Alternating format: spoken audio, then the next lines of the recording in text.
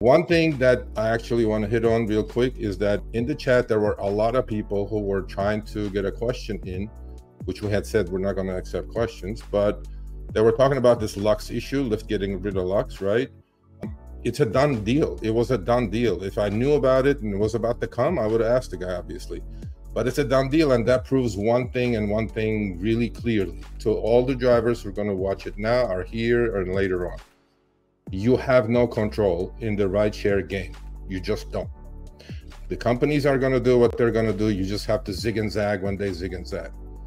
And obviously, it hurts a lot of drivers. Look, it's only 6% of the ride base for Lyft.